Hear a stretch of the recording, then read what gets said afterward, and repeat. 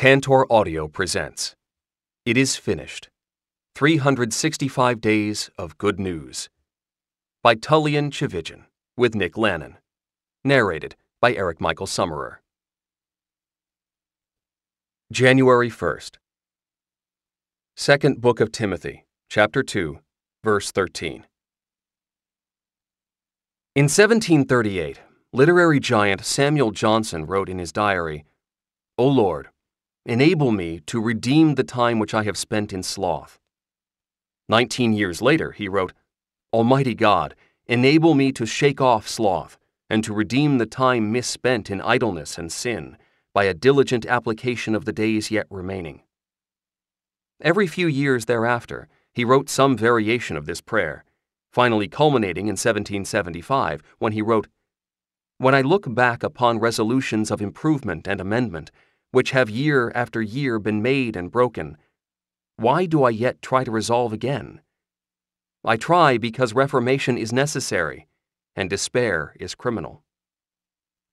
Johnson is describing all human life. We start every new year thinking, this is the year. We resolve to turn over a new leaf, and this time we're serious. We promise ourselves that we're going to quit bad habits and start good ones. We're going to get in shape, eat better, waste less time, and be more content, disciplined, and intentional. We're going to be better husbands, wives, fathers, mothers.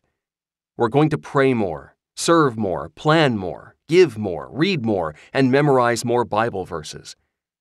We're going to finally be all that we can be. No more messing around. And then, 12 months later, we realize we've fallen short. Again. What I'm most deeply grateful for is that God's love for us, approval of us, and commitment to us does not ride on our resolve, but on Jesus' resolve for us. The gospel is the good news announcing Jesus' infallible devotion to us, despite our inconsistent devotion to him. The gospel is not a command to hang on to Jesus. It's a promise that no matter how weak and unsuccessful our faith and efforts may be, God is always holding on to us. As this new year gets underway, take comfort knowing that we are weak and He is strong, that even as our love for Jesus falls short, Jesus' love for us is eternal. Happy New Year. January 2nd. Romans chapter 2, verse 15. Have you ever found yourself writing and rewriting an email or do you procrastinate making a phone call? The recipient almost inevitably becomes a proxy for the law because you fear his or her judgment. We put people in this role with alarming ease. Having this sense of law is universal. The Apostle Paul claims that it is written on each person's heart. Even those who don't believe in God tend to struggle with self recrimination and self hatred as much as believers. No one is free of guilt for the law is not subject to belief in it. Some of us even compound our sense of guilt by heaping judgment upon judgment, intoxicated by the voice of not enoughness, until we have effectively usurped the role of the only one who is actually qualified to pass a sentence. But against this tumult of law comes God's grace. Grace is the gift that comes with no strings attached. It is one way love and is what makes the good news so good the once for all proclamation that there is now no condemnation for those who are in Christ Jesus. Romans chapter 8 verse 1. The gospel of grace announces that Jesus came to acquit the guilty. Christ came to satisfy the deep judgment against us once and for all, so we could be free from God's judgment as well as the judgment of others and ourselves. He came to give rest to our efforts at trying to handle judgment on our own. The gospel declares that our guilt has been atoned for, so we don't need to live under the burden of trying to own the judgment we feel. In Christ, the ultimate demand has been met. The internal voice that says, Do this and live, gets outshouted by the external voice that says, It is finished. The grace of God always prevails. When we finally come to the end of ourselves, there it will be. There He will be. just as He will be the next time we come to the end of ourselves, and the time after that, and the time after that. January 3rd. Romans chapter 5, verses 6 through 10. My friend Dr. Rod Rosenbladt told me the story of how he'd wrecked his car when he was 16 years old after he and his friends had been drinking. Following the accident, Rod called his dad, and the first thing his dad asked him was, Are you all right? Rod said yes. Then he confessed to his father that he was drunk. Rod was naturally terrified about how his father might respond. Later that night, after Rod had made it home, he wept and wept in his father's study. He was embarrassed, ashamed. At the end of the ordeal, his father asked him this question How about tomorrow we go and get you a new car? Rod now says that he became a Christian in that moment. God's grace became real to him in that moment of forgiveness and mercy. Now, nearly 70, Rod has since spent his life as a spokesman for the theology of grace. Rod's father's grace didn't turn Rod into a drunk. It made him love his father and the Lord he served. Now let me ask you, what would you like to say to Rod's dad? Rod says that every time he tells that story in public, there are always people in the audience who get angry. They say, Your dad let you get away with that? He didn't punish you at all? What a great opportunity for your dad to teach you responsibility. Rod always chuckles when he hears that response and says, Do you think I didn't know what I had done? Do you think it wasn't the most painful moment of my whole life up to that point? I was ashamed. I was scared. My father spoke grace to me in a moment when I knew I deserved wrath. And I came alive. Isn't that the nature of grace? We know that we deserve punishment, and then, when we receive mercy instead, we discover grace. Romans chapter 5 verse 8 reads, While we were still sinners, Christ died for us. God gives forgiveness and imputes righteousness to us, even though we are sinful and while we were his enemies. Verses 6, 8, 10. Our offenses are infinitely greater than a 16 year old getting drunk and wrecking his car. Yet God's grace is greater still. January 4th. John chapter 3, verse 17. After the Florida Gators football team won the national championship in 2007, coach Urban Meyer was on top of the world. Later, he would describe that time by saying, Building takes passion and energy. Maintenance is awful. It's nothing but fatigue. Once you reach the top, maintaining that beast is awful. One commentator described him as a man running for a finish line that doesn't exist. Soon the chest pains started, and then they started getting worse. A few hours after the Gators' winning streak finally came to an end in 2009, Urban was found on the floor of his house, unable to move or speak. He had come to a breaking point. Soon he would resign, come back, and resign again. Urban Meyer's story may be a bit extreme, but maybe you can relate. Maybe you had demanding parents for whom nothing was ever good enough. Maybe you have a demanding spouse who only notices your failures. No one can live under the burden of perfection forever.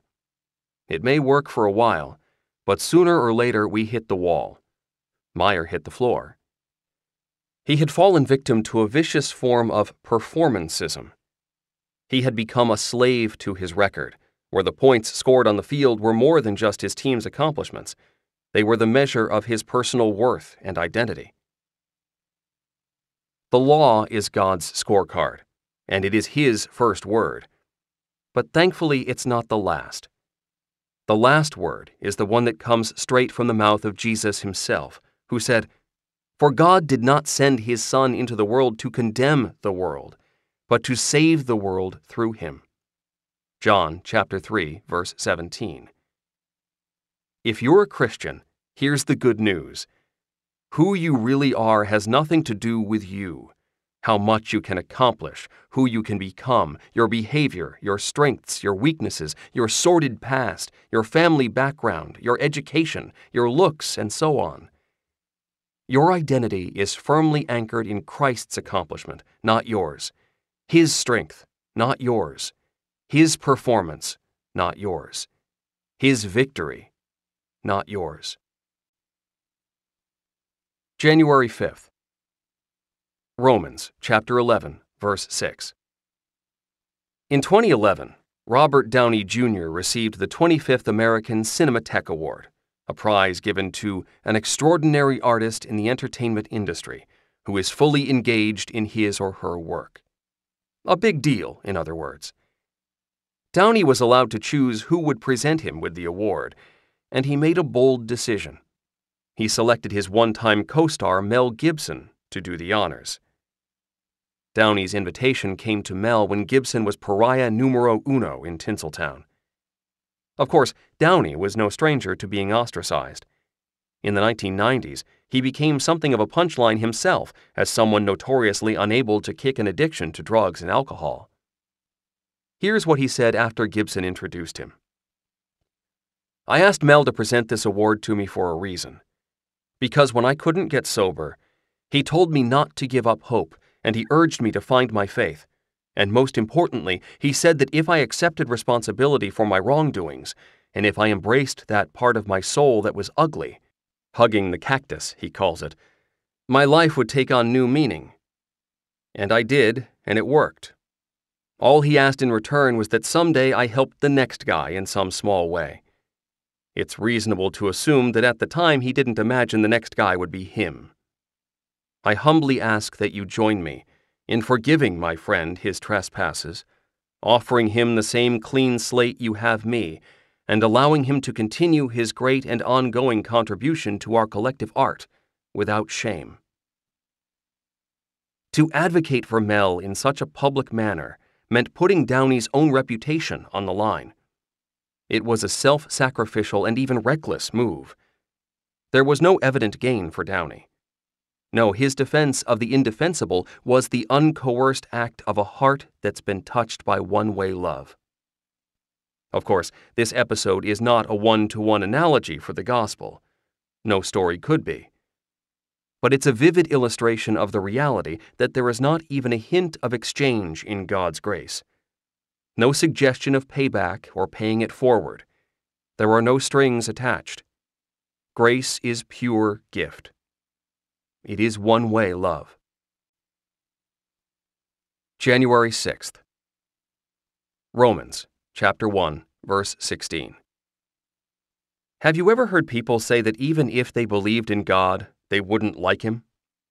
Some people, it seems, almost need God not to exist in order to make their perception of the world make sense. Many people are like this. They've considered the state that the world is in and have concluded if there is a God, he's a God they don't want to have anything to do with. The reason? They haven't made the jump that Paul makes in the beginning of Romans chapter 1. They know about the descriptions of God and Jesus, but they can't comprehend that God in Jesus would be for them. For too many, Jesus is some idealized figure representing some impersonal deity. When we think like that, the gospel just seems like some kind of religious slogan. But in the Bible, we discover that the message we call the gospel actually unites us to the real Jesus Christ. So Jesus is himself the gospel, not just because he is God, but because he is God for us. He is the incarnation of God's movement toward his sinful people. It is Jesus through whom we have received grace. Jesus is God's movement toward us, even as we run away. Jesus is the giver of grace and the way through which grace is granted. And this grace, resident in and embodied by Jesus Christ, is the power of God for salvation. Jesus is something much better than a Savior. He's your Savior. Paul is writing Romans to a church he didn't found. They didn't know him, in the same way, Jesus proclaimed, and in fact was, a message to a world that didn't know him. John chapter 1 verse 10 says that even though the world was made through him, the world did not recognize him. God's message of grace is always a message to a people who are strangers to him. Paul wrote to tell the Romans the same thing that Jesus Christ came to tell and be for the world. You can't do this on your own. But take heart. God has a Son, and this Son is a Savior, your Savior. The Jesus that Paul proclaims to you is the gospel, and even better, he's the gospel for you. January 7th. Genesis chapter 6, verses 5 through 9. Noah is often presented to us as the first character in the Bible really worthy of emulation. Scripture, though, says that the Lord decided to blot man out because Every inclination of the thoughts of the human heart was only evil all the time. Verse 5. Look at all the superlatives. Every inclination, only evil, all the time. That kind of language doesn't leave a lot of room for exceptions, not even for Noah. So, how do we get from, I will wipe mankind, whom I have created, from the face of the earth, for I am grieved that I have made them, verse 7, to, Noah was a righteous man. Verse 9. We get from here to there, from sin to righteousness, by the glory of verse 8, which highlights God's initiating grace. But Noah found favor in the eyes of the Lord. Some read this and make it sound as if God is scouring the earth to find someone, anyone who is righteous. And then one day, while searching high and low, God sees Noah and breathes a divine sigh of relief. Phew, at least there's one. But that's not what it says. Favor here is the same word that is translated elsewhere as grace. In other words, as is the case with all of us who know God, it was God who found us. We didn't find God. We are where we are today not because we found grace, but because grace found us. It took the grace of God to move Noah from the ranks of the unrighteous to the ranks of the redeemed. Noah's righteousness is not a precondition for his receiving favor, though we are wired to read it this way. His righteousness is a result of his having already received favor. The gospel is not a story of God meeting sinners halfway. The news is so much better than that. The gospel is that God gives favor to those who don't deserve it. Sinners, Noah and the rest of us, are recipients of a preemptive love that changes everything, breathing new life into us with the power to carry us from unrighteousness to righteousness without an ounce of help. January 8th. Matthew chapter 5, verse 39. When I was 16, my parents kicked me out of the house.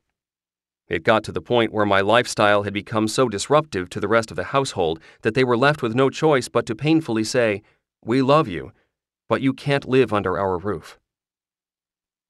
A couple years after they kicked me out, and after losing yet another of my many dead end jobs, I asked my dad for money. It's the only reason I ever called. Without asking me anything, he gave me a signed blank check and said, Take whatever you need. This should hold you over until you can find another job. He didn't probe into why I lost my job or yell at me for doing so. He didn't give me a limit. I remember not only taking that check and writing it out for much more than I needed, but also sneaking into my parents' house on numerous occasions and stealing more checks. I had mastered forging my dad's signature and even went six months without a job because I had all the money I needed. I completely took advantage of his kindness, and he knew it. Years later, he told me that he saw the results of all those checks being cashed, but decided not to say anything about it. It didn't happen immediately, but that demonstration of unconditional grace was the beginning of God doing a miraculous work in my heart and life. My dad's literal turning the other cheek gave me a picture of God's unconditional love that I couldn't shake. Now, I'm not saying this is the pattern every time for every child in every situation. What I've given is a snapshot of one thing my father did at a very particular time for a very particular reason. My parents handled me differently in a variety of situations. But on this occasion, knowing me the way only a father can know his son, my dad did something I'm sure was scary for him. And God used it. Steve Brown wrote Children will run from law, and they'll run from grace. The ones who run from law never come back, but the ones who run from grace always come back. Grace draws its own back home. I ran from grace. It drew me home. January 9th. Second Book of Corinthians, chapter 5, verse 21. It was a staple of Jewish literature around the time of Christ to run down a sort of history of sin, always laying it at the feet of Gentile idolaters. In other words, for first century Jews, there was a distinct dividing line between us and them. We do the same thing today, both in our literature and in our lives. In fact, we base our entire personal universes on us and them. We may not be perfect, we say to ourselves, but at least we spend more time with our children than they do. We may have our issues, but at least we're not throwing all our money away on jewelry like they do. We may be broken sinners, but at least we found a good church and are regularly attending, unlike them. As long as we're not like them, we think we're okay. Into this very familiar pattern of bashing them for causing all of the world's problems, Paul throws a haymaker. Every they in chapter 1 becomes you in chapter 2. For instance, Paul transitions from, Although they knew God, they neither glorified him as God nor gave thanks to him, but their thinking became futile and their foolish hearts were darkened. Although they claimed to be wise, they became fools. Romans chapter 1 verses 21 to 22 to You therefore have no excuse, you who pass judgment on someone else. Romans chapter 2 verse 1. And down comes the tragic hammer of the law. We are they. This is bad news. It's perhaps the worst of news. You're far worse off than you think. They can't be blamed for any of your problems. You are the problem. You always have been. Ouch. But this story, as painfully as it begins, always ends with good news. By the life and sacrifice of Jesus Christ, God brings life out of death and righteousness out of sin. In fact, Jesus puts himself in the them category, taking the blame for all that's wrong in the world.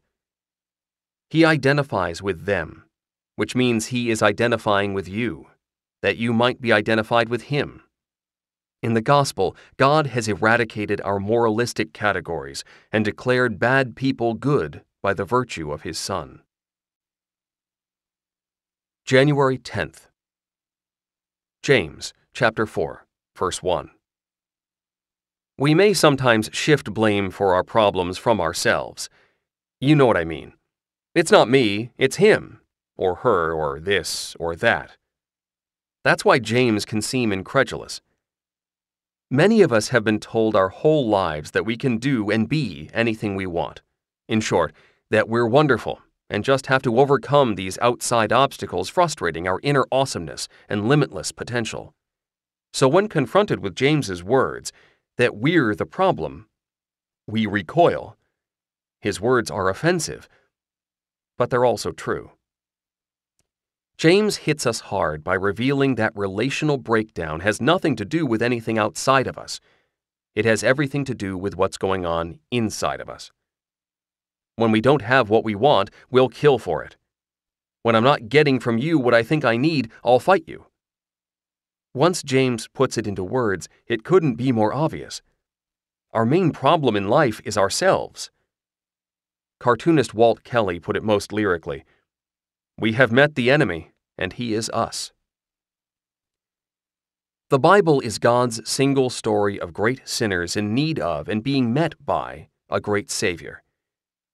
We set time apart for God through prayer and Bible reading, for example, because it is in those places where God reminds us again and again that things between us are forever fixed. They are the rendezvous points where God declares to us concretely that the debt has been paid, the ledger put away, and that in Christ everything we need we already possess. This convincing assurance produces humility because we realize that our needs are fulfilled. We don't have to worry about ourselves anymore. This, in turn, allows us to stop looking out for what we think we need and liberates us to love our neighbor by looking out for what they need. The vertical relationship is secure, freeing us to think about the horizontal ones, about others. What comes next is a peace we could not attain on our own.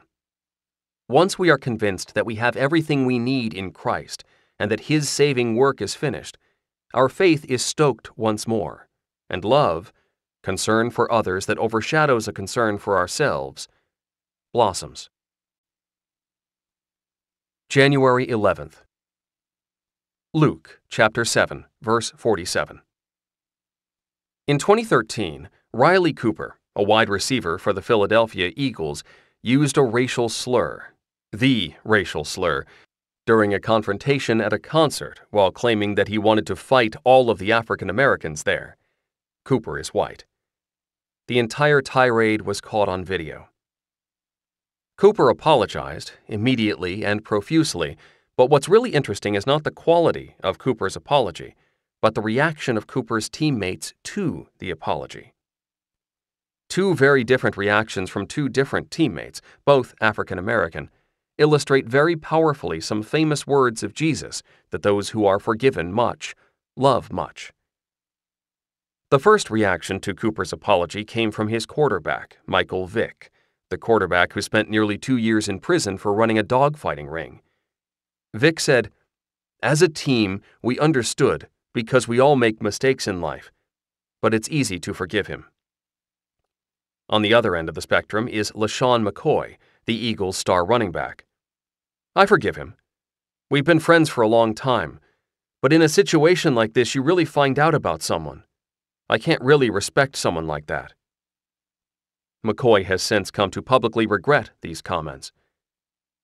Notice that where Vick said we, McCoy said I. Michael Vick put himself in a category with Riley Cooper.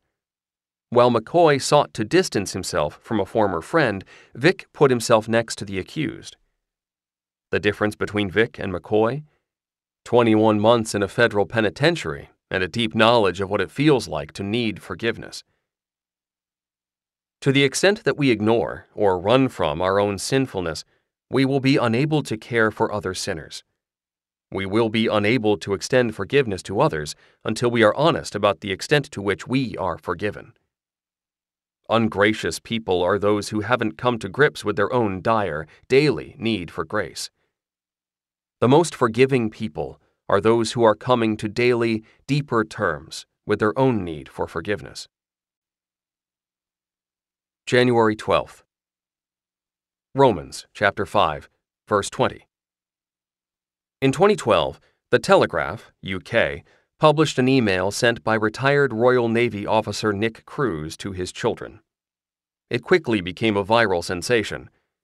The letter lists, in remarkably colorful language, all the misery that they had put their parents through, from failed marriages and careers to poor finances and fears about their grandchildren's well being.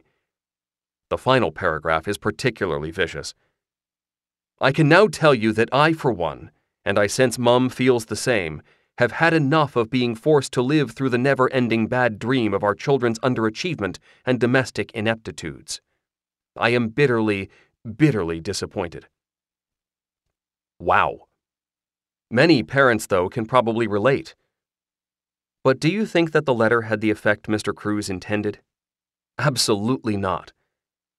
The letter may have succeeded in scaring the kids straight for a spell, but fear of further berating would be the driving factor, not the genuine desire to fly right. What's much more likely is that the children were so hurt that they struck back at their father by releasing his letter to the media so that he might be humiliated by the public. Which is precisely what happened. His email backfired, Instead of bringing his children closer, it pushed them further away. This is an echo of what the Apostle Paul meant when he wrote that the law was brought in so that the trespass might increase. Verse 20. We make a big mistake when we conclude that the law is the answer to bad behavior. In fact, the law alone stirs up more of such behavior. People get worse, not better, when you lay down the law. To be sure, the Spirit does use both God's law and God's gospel in our sanctification. But the law and the gospel do very different things. The law reveals sin, but is powerless to remove it. It points to righteousness, but can't produce it. It shows us what godliness is, but it cannot make us godly. As Martin Luther said, Sin is not cancelled by lawful living, for no person is able to live up to the law. Nothing can take away sin except the grace of God. The law, apart from the gospel, can only crush. It cannot cure. January 13th. Luke chapter 21, verses 25 to 28. When the Ghostbusters are called into the mayor's office, they're asked to describe what might happen if the character Gozer is unleashed on the world. They try to describe it. A disaster of biblical proportions. Fire and brimstone coming down from the skies, rivers and seas boiling, 40 years of darkness, earthquakes, volcanoes, the dead rising from the grave, human sacrifice, dogs and cats living together, mass hysteria. Billy Bob Thornton does about the same thing in Armageddon when he's asked what will happen if an asteroid the size of Texas were to hit the Earth. Half the world's population will be incinerated by the heat blast, and the rest will freeze to death from nuclear winter. Basically, the worst parts of the Bible. But given what we see, not just in Hollywood movies, but in newspaper headlines every day, doesn't it seem like it's the worst parts of the Bible, such as what's described in Luke 21, that we're living through now? And that the best parts are merely part of some hopeful future? There is good news. Jesus is aware of what life is like. He is the ultimate tell it like it is guy. No sugarcoating from Jesus. No power of positive thinking. He knows this life is hard. That's why he came. The worst parts of the Bible are the ones that describe a world waiting and aching for a Savior. As Tom Petty said, the waiting is the hardest part. But in the end, while waiting is the hardest part, it opens the door to the best part. We have a God who comes to us and doesn't ask us to go to Him. And so we wait. We wait for the world to not be the way it is anymore. We wait for ourselves to not be the way we are anymore. In the midst of our waiting, a Savior comes and comes to us. He's a Savior who knows what the waiting has been like, who knows that the waiting is the hardest part. All we have to do, and all we can do, is wait. He'll do the work. And when He comes, stand up and lift up your heads, because your redemption is drawing near. Verse 28. January 14th. John chapter 8, verses 10 to 11. The scribes and Pharisees catch a woman in the act of adultery and drag her before Jesus. They tell Jesus of her infraction and remind him that the law of Moses says such women should be stoned. Then they issue a challenge. What do you say? Verse 5. They're trying to trick Jesus into admitting what they suspect that he's soft on the law. Boy, were they wrong. Confronted by this test, Jesus bends down and writes in the sand with his finger. We aren't told what he writes, but whatever he wrote, the function of his writing is clear. It serves to reveal the sin of those gathered. Far from being soft on the law, Jesus shows just how high the bar really is. How do we know? because the scribes and Pharisees respond the same way that all of us respond when we are confronted with the depth of God's inflexible demands. They scattered. When Jesus and the woman are left alone and she acknowledges that no one remains to condemn her, Jesus speaks his final word to her Neither do I condemn you. Go now and leave your life of sin. Verse 11. This is where the story gets misunderstood. Aha, we cry. See? Jesus tells her to shape up. He leaves her with an exhortation. But look at the order of Jesus' words. First, he tells the woman that he does not condemn her. Only then does he instruct her to sin no more. He does not make his love conditional on her behavior. Our Savior does so much better than that. Jesus creates new life in the woman by loving her unconditionally. By forgiving her profound shame, he impacts her profoundly. By refusing to condemn her, he sets her free to do what she has no doubt already pledged to do on her own leave her old life behind. Like the adulteress, we are all caught in the act, discovered in a shameful breach of God's law. Though no one on earth can throw the first stone, God can. And he did. The wonder of all wonders is that the rock of condemnation we justly deserved was hurled by the Father onto the Son. The lawmaker became the law keeper and died for you and me, the lawbreakers, so we might be declared law keepers too, all by the grace of Jesus. January 15th. Luke chapter 15, verse 24. I'll never forget telling my dad that Kim, my then fiancée, now my wife, was pregnant. We summoned the courage to go over to my parents' house the day after we found out, Mother's Day, believe it or not. After some awkward small talk, I asked my father if we could speak to him alone. Almost as soon as I began talking, I burst into tears. Kim's pregnant. Kim started bawling too. Next thing I knew, he was embracing both of us, me with one arm, her with the other, while we wept. He held us for ten minutes. He could see how overwhelmed we were. I can still hear his voice telling us, It's okay. We love you. It's going to be okay. This child is going to be a blessing. The whole situation was wrapped in grace. I deserved his reproach and disapproval Premarital sex resulting in unexpected pregnancy is no father's dream for his child. Yet his gracious response assured me that he not only wasn't crushed, but that his love for me was stronger than ever. When I told him, through many tears, how sorry I was for letting him down, he simply hushed me by hugging me tighter and saying over and over again, It's okay. I love you. It's okay. I love you. At that moment in the driveway, when I rightly deserved my dad's disappointment, he assured me of his delight. Even now, it is hard to put into words the emotional relief I felt. Life saving is not too strong a word. I thank God with every fiber of my being that He put me in a family where I was surrounded by such one way love. This act of grace served as a powerful reflection of that one true act of grace. My dad treated me in a way that was analogous to how God treats you and me. My dad may not be God, but like many fathers, he plays a similar role in my life. Someone in authority who showed me love in the midst of deserved judgment. And like that one true act of grace, my father's forgiveness and love changed me forever. January 16th. Romans chapter 10 verse 17. One of the most common objections grace addicted people hear is Okay, I get it. Can we move on now? Can we hear something different already? The truth is, we never ever outgrow our need to hear the gospel.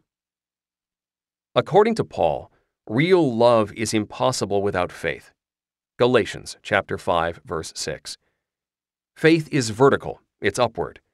It's trusting that everything I need and long for I already have because of what Jesus has accomplished for me.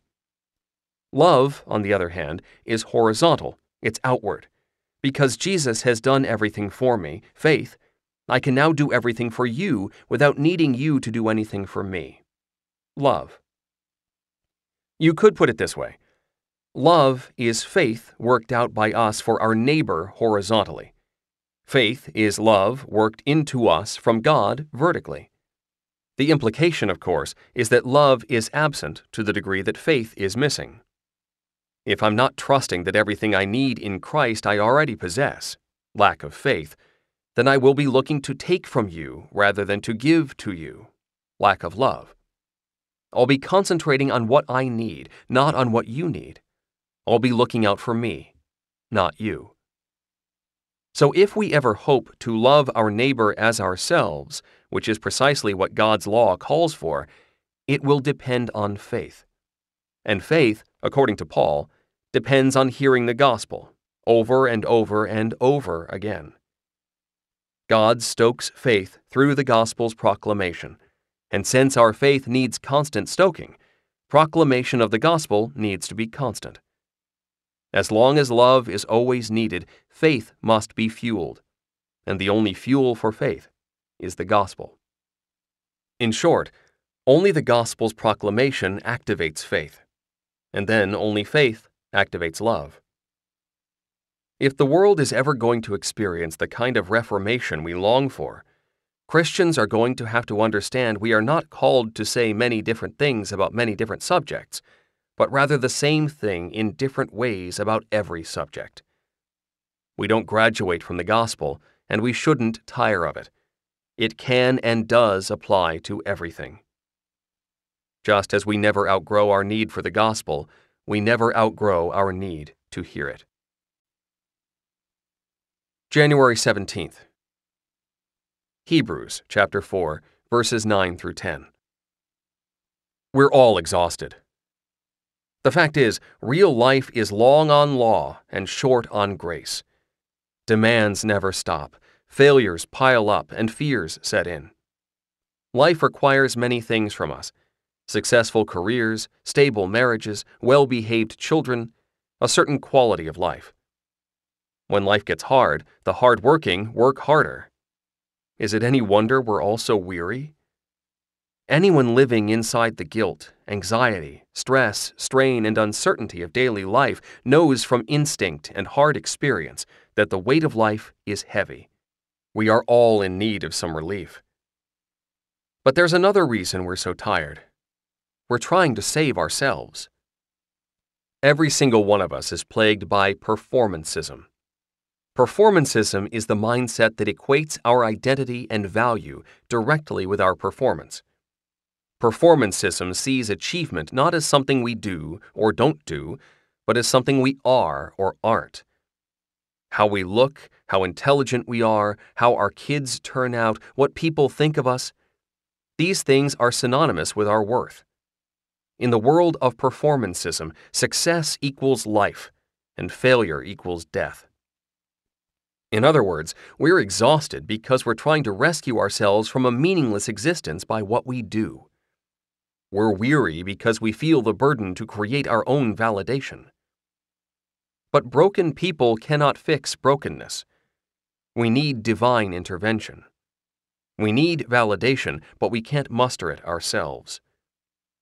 What an amazing thing, then, that the holy God of the universe, who set the standard for validation higher than we could ever reach, reaches down to us and proclaims over messy sinners who can't ever get their own act together justified.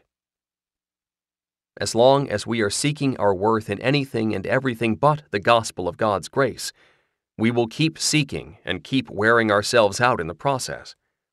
But in Christ's finished work is ultimate and eternal validation, and ultimate and eternal rest. January 18th. John, chapter 8, verse 32. In the 2014 Sochi Olympics, Jeremy Abbott, the American men's singles ice skating champion, fell spectacularly on his first jump in the short program. It was, however, a fall that viewers could see coming a mile away. He fell during the same program in the team competition and looked nervous beyond belief before he got on the ice. He got credit for a gutsy performance in finishing his program, which included several more difficult jumps. The commentators expressed surprise that he could skate so well after such an embarrassing fall. But really, it ought to have been expected. Once the possibility of Olympic glory was gone, Abbott clearly felt a freedom that he hadn't felt before. There was no longer any reason to be nervous. He skated with a verve that wouldn't have been possible had his shortcomings not been so obviously exposed to the world. It is when we can look ourselves in the mirror and be honest about what we see failings, sins, and shortcomings that we can begin to live our lives with some measure of freedom. As long as we look in that mirror and tell ourselves that glory is possible, we'll be like Jeremy Abbott before the fall, a nervous wreck. We'll be terrified of exposure, of failure, of being outed as frauds. Once we face our flaws, we find that our freedom is even better than Abbott's. Our errors, our embarrassing falls, and our public disgraces have been given to a substitute. His perfect score has been given to us. We now live secure in the knowledge that when the judge regards us, he sees only his blameless Son, Jesus Christ. The next time Jeremy Abbott skates that program, that fall will likely surface in his memory. He might worry about it and hope it doesn't happen again. Fortunately, our falls can never come back to us. They were nailed to a cross 2,000 years ago. We have all gone crashing to the ice too many times to keep telling ourselves that our quest for glory is ongoing. It's over. We've failed. But now we're free. We can live our lives without trying to fool anyone into thinking that we don't need saving. We do, and desperately. January 19th. First Book of Corinthians, chapter 15, verses 8 to 11. Out on parole after 19 years in prison, Les Miserables protagonist Jean Valjean is denied shelter at several respectable establishments because his passport identifies him as a former convict.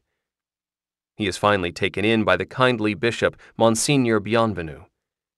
Valjean repays his host by stealing the church's silver. When Valjean is dragged back to the bishop's house by the police, Bienvenu not only validates Valjean's lie that the silver was a gift, but chastises him for forgetting the candlesticks. Jean Valjean is utterly confounded. When he deserved imprisonment, he received mercy. Actually, more than mercy. Mercy would involve simply dropping the charges, but the bishop goes further.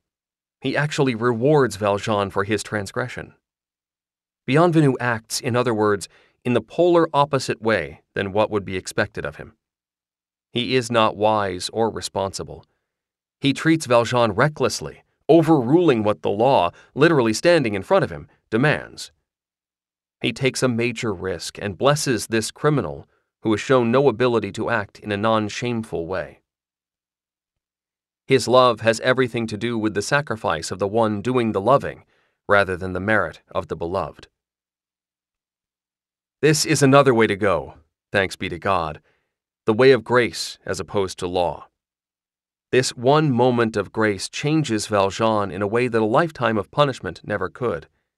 In fact, his heroic, self sacrificing actions in the rest of the novel flow directly from the word he hears from the bishop, which is the word of the gospel. Listen closely. The law exposes Valjean and us, while grace exonerates him. The law accuses, grace acquits. The law can break a hard heart, but only grace can heal one. Which is precisely what happens to Valjean. He may be a fictional character, but our response to his predicament is not fictional. The tears come because each one of us is dying to be treated this way. And the glorious truth is that Jesus Christ died, so we would. January 20th. John, chapter 13, verses 34 to 35. One of my all time favorite moments in television history happened on Seinfeld, when Elaine comes into Jerry's apartment after just having another frustrating interaction with someone. I don't remember if it was the low talker or the sidler or what, but she comes in flustered, declaring, I hate people. And without missing a beat, Jerry looks up from what he's doing and says, they're the worst. This frustration is a universal human experience. The level of dislike I can generate toward someone who cuts me off in traffic is very disturbing to me. I may usually be Dr. Jekyll, but my inner Mr. Hyde is always lying in wait. So Jesus' new command, verse 34, is already starting to cause a problem for me. Love one another. Like always? Even the clown in the Lexus convertible who didn't even look before careening over into my lane? But then Jesus isn't finished. As I have loved you, so you must love one another. Verse 34. So it's not enough to love people in our self satisfying, when we feel like it human way. We have to love as Jesus loves us. This is a reality check that Jesus is giving to the people he's talking to. Yet God's word is creative. Jesus continues By this everyone will know that you are my disciples, if you love one another. Verse 35. Miraculously, you find yourself loving and being loved. Now, we might admit freely that we love because Jesus first loved us, but we don't love because we owe it to Him or because He told us to. We love because love for us brings out love for one another. We are loved by the Jesus who loved the people who weren't good enough. We are loved by the Jesus who loved the people who came up short. We are loved by the Jesus who planted his love in our hearts. The good news of the gospel is that Jesus did not wait until we were loving before he loved us. He didn't even wait till we asked him to love us before he loved us. He loved us in our unloveliness. And his love for us births love in us, which bleeds love through us to those around us. January 21st. Luke chapter 10, verse 36 through 37. You should be like the Good Samaritan. If you grew up in church, you probably heard this a thousand times, but this misses the main point of the story. If Jesus had been asked, How should we treat our neighbors? and had responded with that story, perhaps be like the Good Samaritan would be an acceptable interpretation. Instead, Jesus was asked, What must I do to inherit eternal life? Mark chapter 10 verse 17. He is asked this vertical question, a question about a person's relationship to God, before the horizontal one, Who is my neighbor? This parable must, therefore, be interpreted vertically first. Instead of telling this parable to help us learn a moralistic lesson about being nice to people, Jesus is showing us how far from being like the Good Samaritan and how much like the priest and Levite we actually are. Jesus' parable aims to destroy our efforts to justify ourselves, to find a class of people we can call neighbors that we actually do love. Jesus brings the hammer of the law, be perfect, down on our self justifying work. In a rich irony, we move from being identified with the priest and the Levite, never perfectly loving our best friends as ourselves, much less our enemies, to being identified with the traveler in desperate need of salvation. Jesus intends the parable itself to leave us beaten and bloodied, lying in a ditch, like the man in the story. We are the needy, unable to do anything to help ourselves. We are the broken, beaten up by life, robbed of hope. But then Jesus comes. Casting the Samaritan, considered an enemy by the average Jew, as the hero of the story, is a reminder that Jesus has identified with those far from God to bring them near, that he has become sin to cancel sin's debt. Unlike the priest and Levite, Jesus doesn't avoid us. He crosses the street, from heaven to earth, comes into our mess, and gets his hands dirty. At great cost to himself on the cross, he heals our wounds, covers our nakedness, and loves us with a no strings attached love. He brings us to the Father and promises that his help is not simply a one time gift, rather, it's a gift that will forever cover future charges we incur. Jesus is the Good Samaritan. January 22nd. John chapter 1, verse 12. One night, as I was putting my daughter to bed, I asked her, Honey, how do you think God feels about you? Her immediate response was, Disappointed. After some probing, I realized that she wasn't feeling convicted about any particular sin. She simply sees God as someone whose feelings toward her are basically unhappy ones. She knows that God is perfect, and that she is imperfect. She understands that God is holy and that she is sinful, and so it only makes sense to her that God is perpetually displeased with her. I scrambled in my mind for an illustration that might help an 11 year old grasp the liberating power of Christ's imputed righteousness.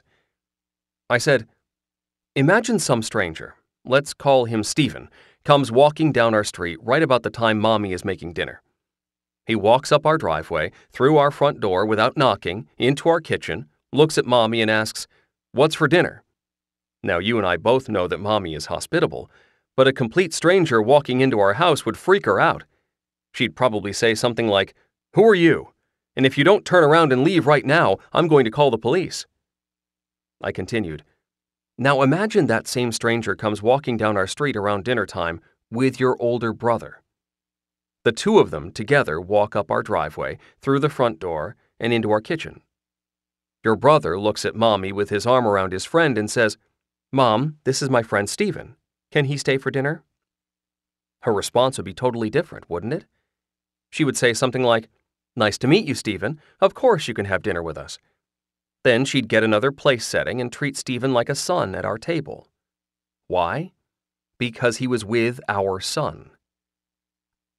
Many Christians think that God is perpetually disappointed with them. But because of what Jesus did for us on the cross, God sees us as friends and children, not as enemies and strangers. God is a good father, and because we're with Jesus, God's affection for us is unchanging, and his approval of us is forever. January 23rd. Romans chapter 9, verse 8. How often have you heard the gospel equated with a positive change in a believer's life? I used to do this, but then I met Jesus, and now I don't do that anymore. It may be unintentional, but we make a serious mistake when we reduce the good news to its results such as patience, sobriety, and compassion, in the lives of those who have heard it. These are beautiful developments, and belief in the gospel does produce such fruit, but the results should not be confused with the gospel itself. Well meaning Christians sometimes adopt a narrative of improvement that becomes a functional law for them through which they filter their experiences. The narrative can be as simple as, I was worse, but now I am better or as arbitrary as, I used to have a difficult relationship with my mother, but now it's much easier. Soon we wed our faith to these narratives, and when an experience or feeling doesn't fit, for example, when we have a sudden outburst of anger at someone we thought we had forgiven, it disturbs our security or causes us to doubt. If the narrative we've adopted says that our lives have to get better in order for our relationships with God to be legitimate, we twist the gospel into a moral improvement scheme. God is not interested in what you think you should be or how you should feel. He is not interested in the narrative you construct for yourself or that others construct for you. He may even use suffering to deconstruct that narrative. Rather, he is interested in you, the you who suffers, the you who inflicts suffering on others, the you who hides, the you who has bad days and good ones. And he meets you where you are. Jesus is not the man at the top of the stairs, he is the man at the bottom, the friend of sinners, the savior of those in need of one, which is all of us, all of the time. January 24th. John chapter 20, verse 31. I used to think that the simple good news of Christianity was just for non Christians. Jesus came to save sinners, but once someone became saved, I figured they'd move on to the advanced material. I saw the gospel as Christianity 101 and the rest of the Christian life as graduate level courses. But I've come to realize that the gospel isn't the first step in a stairway of truths, but more like the hub in a wheel of truth. Once God rescues sinners, he doesn't give them something else to think about or do. He simply gives them more gospel, grace upon grace. All good theology is an exposition of the gospel. It seems to me that there are two challenges Christians face day after day in this broken world. First, we need to understand theologically that the gospel doesn't just ignite the Christian life, but it's also the fuel that keeps Christians going and growing every day. The second challenge, which is much harder for me than the first, is to understand how this actually works. I address the second challenge by regularly asking myself questions such as Because Jesus secured my pardon and absorbed the Father's wrath on my behalf, so there is now no condemnation for those who are in Christ Jesus. Romans chapter 8, verse 1.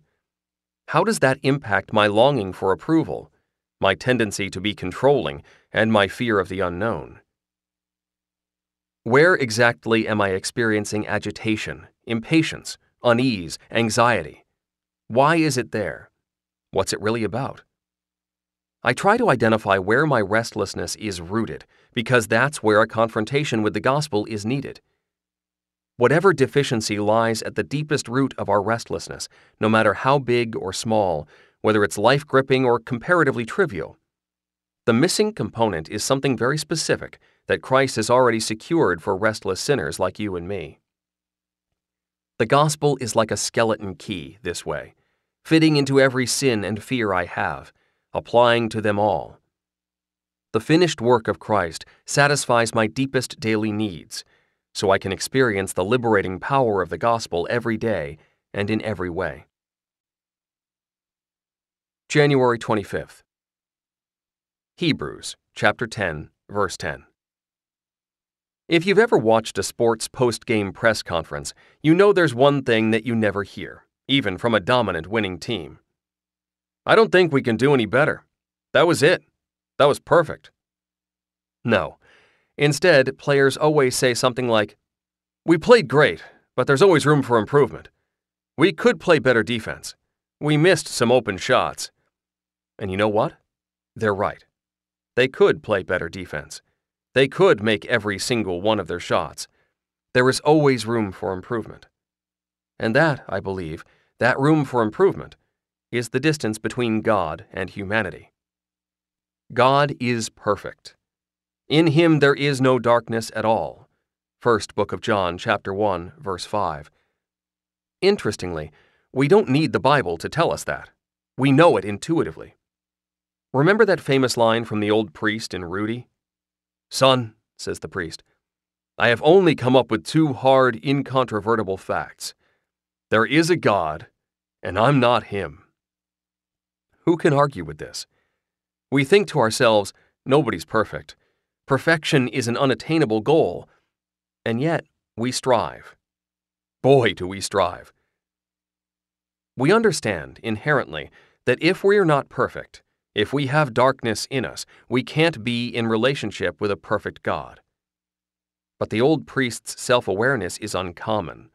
We say, I'm not him with our lips, but our hearts desire the God role more than any other. That's why we get to work on attaining perfection, all the while admitting that it's impossible. So if perfection is unattainable, which we know in our heads, but required, which we know in our hearts, how can there be good news? The good news is that our perfection has been won for us and gifted to us rather than required from us. Or better, it has been required and then gifted. The law requires our own perfection. The gospel gifts us God's own perfection. There's no better news than that. January 26th. Philippians chapter 3, verses 7 to 9. John Fitzgerald Page was voted Gawker.com's 2007 Worst Person in the World for an exchange he had with a woman on a dating website. Here's a bit of what he wrote to her when she turned down his invitation. So, next time you meet a guy of my caliber, instead of trying to turn it around, just get to the gym. I will even give you one free training session so you don't blow it with the next 8.9 on Hot or Not. Ivy League grad, Mensa member, can bench, squat, leg press over 1,200 pounds. Has had lunch with the Secretary of Defense. Has an MBA from the top school in the country. Drives a Beamer convertible. Has been in 14 major motion pictures. Was in Jezebel's Best Dressed, etc. Oh, that is right. There aren't any more of those. In the face of rejection, Poor John defended himself. He listed his achievements, his attributes, and accolades, some of which are, on the surface, impressive. John's problem isn't his resume, it's what he thinks about his resume. He used it to justify his existence, leaning on it for righteousness and therefore love. We all do this. We're just typically slick enough to keep it more private than John did. Paul also had plenty to be proud of. His pedigree, his track record, his religious standing were all impeccable. If he had wanted to justify his existence, he would have had a solid basis on which to do so. The first century Jewish equivalent of blue blood, Ivy League, Fortune 500 status. But Paul understands this still falls short of the righteousness needed. But whatever were gains to me, I now consider loss for the sake of Christ, for whose sake I have lost all things, that I may gain Christ and be found in him, not having a righteousness of my own, but that which is through faith in Christ, the righteousness that comes from God on the basis of faith. Verses 7 through 9. Our identity is anchored in Christ's accomplishment, not our own. Christ's strength, not ours. Christ's pedigree and track record, not ours. Christ's victory, not ours. Who we really are has nothing to do with us at all. Rather, it has everything to do with what Jesus has done for us. January 27th. Mark, chapter 16, verse 7. No one in the Bible is more of a repeat offender than the Apostle Peter. His consistent ineptitude is almost comical, or at least it would be were he not also the one who Jesus appointed to be his chief representative. Peter lived with Jesus for three and a half years, witnessed many miracles, and heard his teaching. He had given up everything for the Lord he deeply loved. Matthew chapter 9 verse 27. And he loved his Savior more than he had ever loved anyone and yet his track record was abysmal. He sank when Jesus told him to walk on water. Jesus called him Satan when Peter tried to persuade Jesus that he wouldn't have to die. He fell asleep three times in Gethsemane, despite Jesus asking him to keep watch. Jesus rebuked him for drawing and using his sword at Christ's arrest. He denied knowing Jesus three times on the night he was tried. Apart from his being the first to acknowledge that Jesus was the Christ, the Son of God, almost everything he did in the Gospels ended in a correction, a rebuke, or just simple failure. Yet he is designated the Rock. Why? It is no coincidence that Peter was both the weakest and the one who recognized who Jesus was. He could recognize the Savior because he knew how much he needed one. His faith was directly tied to his failure. As one writer accurately put it, the great and merciful surprise is that we come to God not by doing it right, but by doing it wrong. This is proved by one of the most comforting passages in the Bible.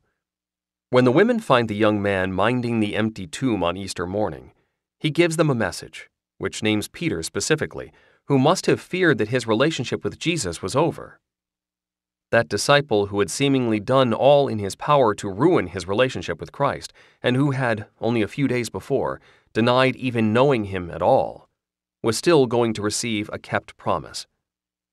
There you will see him, just as he told you. Mark chapter 16, verse 7.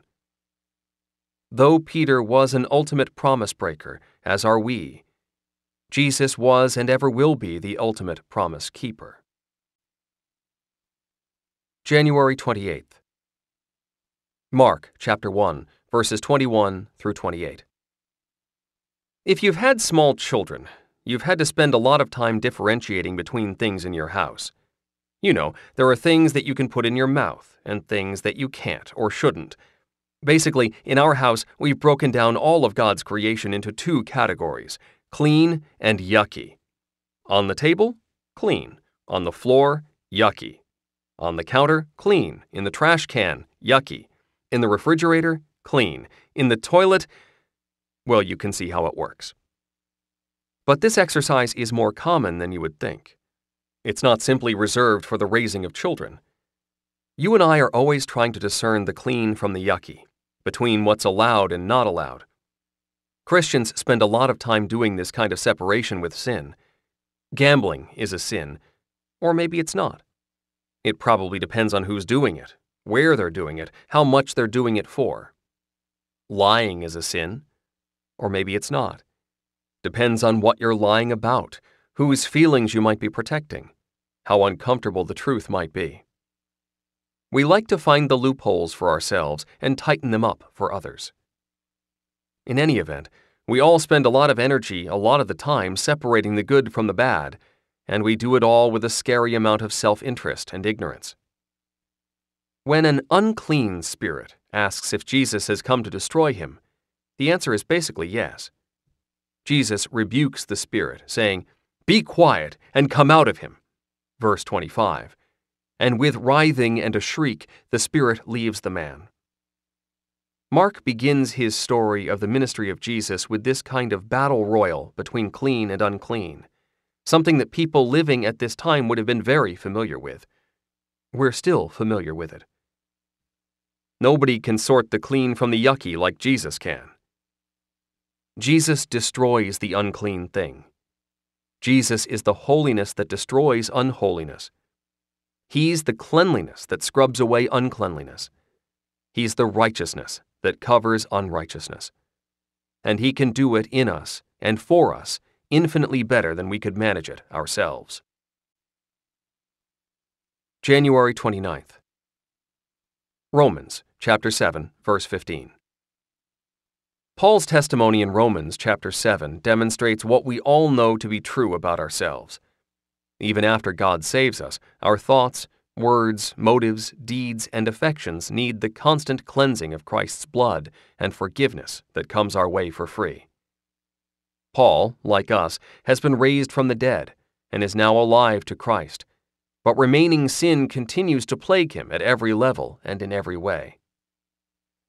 While it is gloriously true for the Christian that there is nowhere Christ has not arrived by his Spirit, there is a converse and more sobering truth.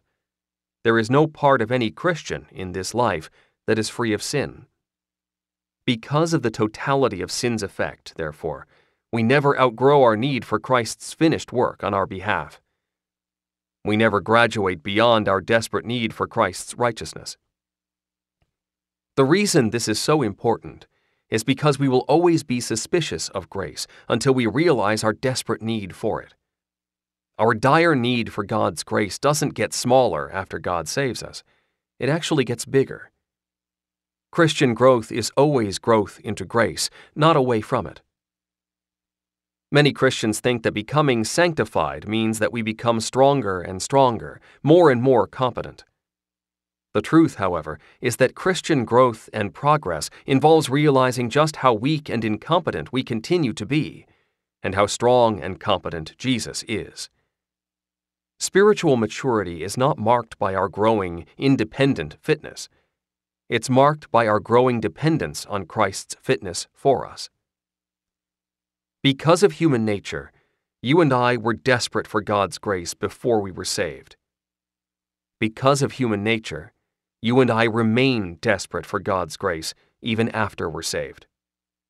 Thankfully, though our sin reaches far, God's grace reaches infinitely farther. January 30th. Luke, chapter 19, verses 5 through 8. It's easy to forget that Zacchaeus would have been a double outcast in his time. Hated by the Jews for collecting taxes for the oppressive Roman Empire, and hated as a Jew by his Roman employers.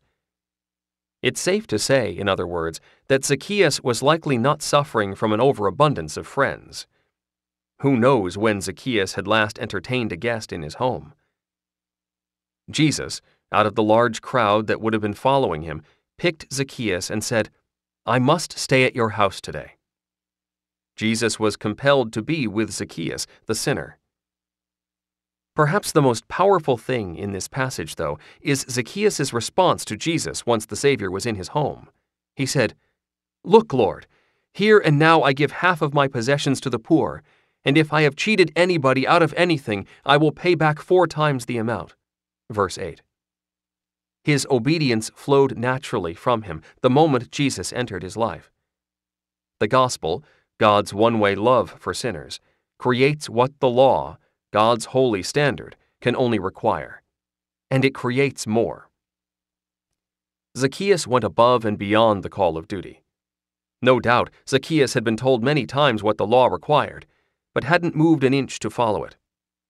Faced with the power of God's one way, undeserved love for broken, sinful people, though, Zacchaeus pledged to do more, happily, than the law ever would have asked of him. What we see here, and in our lives, is that love inspires what the law demands. The law prescribes good works, but only grace can produce them. Gratitude, generosity, honesty, compassion, acts of mercy, and self sacrifice all requirements of the law, spring unsummoned from a forgiven heart. This is how God works on us. He picks us, the least deserving, out of the crowd, insists upon being in a relationship with us, and creates in us a new heart, miraculously capable of pleasing Him. January 31st. Matthew chapter 7, verse 7. On at least two occasions in the last year, I've been late for a meeting or an appointment and haven't been able to find my car keys. Certain that either my wife or one of my three children has misplaced them, I've frantically run from room to room blaming someone, anyone, and everyone for misplacing my keys. Has anyone seen my keys? I'm late for a meeting. Who was playing with my keys? I put them right here on the counter and now they're gone. They didn't just vanish into thin air. Who picked them up? I'm late. After the humans in my house can't help me locate the keys, I turn to the animals. Maybe one of our many furry house guests ate the keys, I think. As if I needed another reason to want these animals out of my house. Now they're eating my keys. The search drives me crazy. I get flustered, manic, and furious. It's as though my entire life is riding on the whereabouts of these keys. I get angrier and angrier, feel more and more victimized. And right about the time I'm ready to start handing out punishments to my family, I've walked into my bedroom one last time to look, put my hand in my pocket, and found my keys. They'd been there the whole time. Every time I tell that story, people laugh, and rightfully so. What forgetful moron falls prey to frantically looking for car keys that are in his pocket? Me, that's who. But you know what? You do too. The truth is, however, that this is the way we Christians typically live, frantically and frustratingly searching for something we already have. The gospel is God's good news announcement that everything we need we already possess in Christ. Because of Jesus' finished work, Christians already have all they need and all they desperately long for and look for in a thousand things infinitely smaller than Jesus. Through the Holy Spirit, God daily delivers the gospel to forgetful Christians like me, declaring, The keys are in your pocket. February 1st. Luke chapter 24, verse 27. Contrary to popular assumptions, the Bible isn't about us. All too often, the Bible functions for us like a well. We look into it, but because of our inherent narcissism, we are only able to see our own reflections. By looking at the Bible as if it were fundamentally about us, we totally miss the point, like the two disciples on the road to Emmaus. As Luke chapter 24 shows, it's possible to read the Bible, study the Bible, and memorize large portions of the Bible while missing the whole point. It's entirely possible, in other words, to read the stories and miss the big story. In fact, unless we go to the Bible to see Jesus and his work for us, even our devout Bible reading can become fuel for our own narcissistic self improvement plans. The Bible is not a record of the blessed good, but rather the blessed bad. Far from being a book full of moral heroes to emulate, what we discover is that the so called heroes in the Bible are not really heroes at all. They fall and fail, they make huge mistakes, they get scared. They're selfish, deceptive, egotistical, and unreliable. The Bible is one long story of God meeting our rebellion with His rescue, our sin with His salvation, our failure with His favor, our guilt with His grace, our badness with His goodness. So if we read the Bible asking first, What would Jesus do? instead of asking, What has Jesus done? we'll miss the good news that in itself can set us free. The overwhelming focus of the Bible is not the work of the redeemed, but the work of the Redeemer. This means that the Bible is not a recipe book for Christian living, but a revelation book of Jesus, who is the answer to our unchristian living. February 2nd. Jude, chapter 1, verses 3 through 4. There are things worth dying for. The gospel is at the top. Regardless of what others may say or what seems most culturally acceptable, the gospel remains as the power of God to deal with the penalty, power, and eventually presence of sin, and is therefore worth giving your life to and for. This is super important to remember at a time when so many preachers are calling into question and even mocking cardinal doctrines of the Christian faith that brothers and sisters throughout history have literally taken a bullet for, been burned for, lost their children for, and been thrown in prison for. In light of this, I can't help but think of Jude's warning about ungodly people who pervert the grace of our God. Verse 4. Perverting the grace of God is serious business. Both theological liberalism and theological legalism pervert the grace of our God. Both are equally dangerous because both ignore the gospel. Liberals pervert the grace of God by turning it into God's soft tolerance and refusal to judge anybody for anything.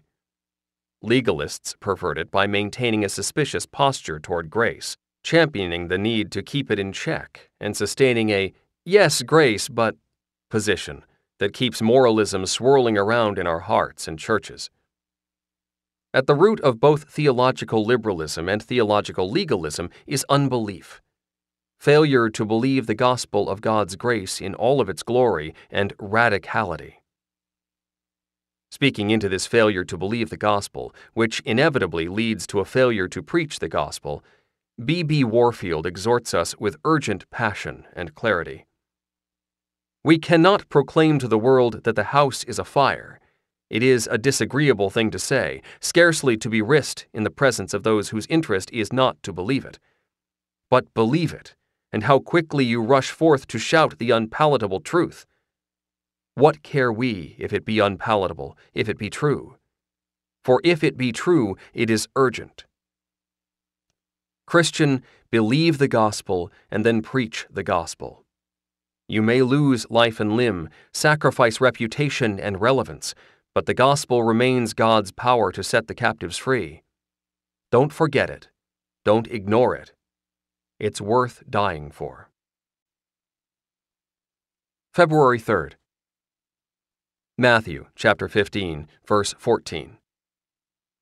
Have you heard of a players only meeting? When a team is performing poorly over an extended stretch of games, a player in a leadership role might call a players only meeting. No coaches or staff are allowed. The players sit together, clear the air, and attempt to figure out how to return to their winning ways. One notable college basketball coach once said that players only meetings are the most useless thing in sports. The urge to call a players only meeting comes from a thought that should be familiar to all of us. I have a problem, and I am going to solve it. It's ironic that the players exclude from their problem solving meeting the people who are paid specifically to solve their problems their coaches. Many Christians tend to operate in the same way when we have a problem. We plan to solve it, which sounds logical, even laudable. The real problem, though, is that the players are in a blind leading the blind situation. Coaches are paid to be dispassionate observers, not caught up in who's getting more shots or who makes the most money from endorsements or who has a bonus clause in his contract that he's trying to reach.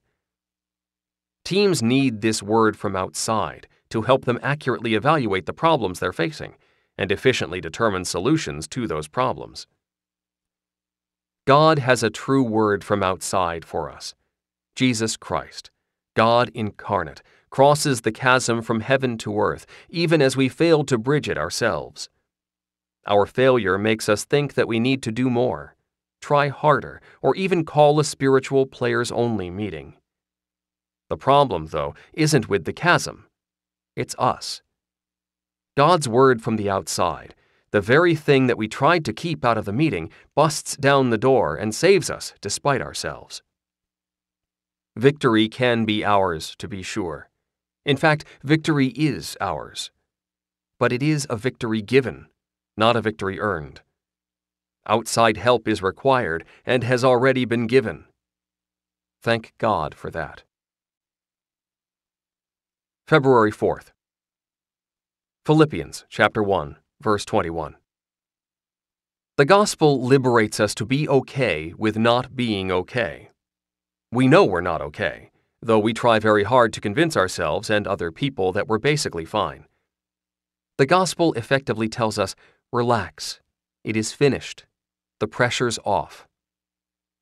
Because of the gospel, we have nothing to prove or protect. We can stop pretending. We can take off our masks and be real.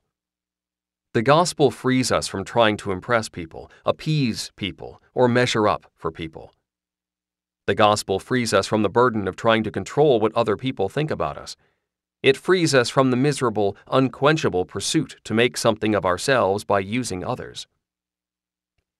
The gospel frees us from what one writer called the law of capability. The law, he said, that judges us wanting if we are not capable, if we cannot handle it all, if we are not competent to balance our diverse commitments without a slip. The gospel grants us the strength to admit we're weak and needy and restless, knowing that Christ's finished work has proven to be all the strength, fulfillment, and peace we could ever want, and more. Because Jesus is our strength, our weaknesses don't threaten our sense of worth and value. Now we're free to admit our wrongs and weaknesses without feeling as if our flesh is being ripped off our bones. When we understand that our significance, security, and identity are all anchored in Christ, we don't have to win.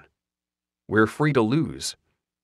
And nothing in this broken world can beat a person who isn't afraid to lose We'll be free to say crazy, risky, counterintuitive stuff such as, To live is Christ, and to die is gain. Real, pure, unadulterated freedom happens when the resources of the gospel crush any sense of need to secure for ourselves anything beyond what Christ has already secured for us. February 5th. We hope you enjoyed this preview. To continue listening to this audiobook on Google Play Books, use the link in the video description.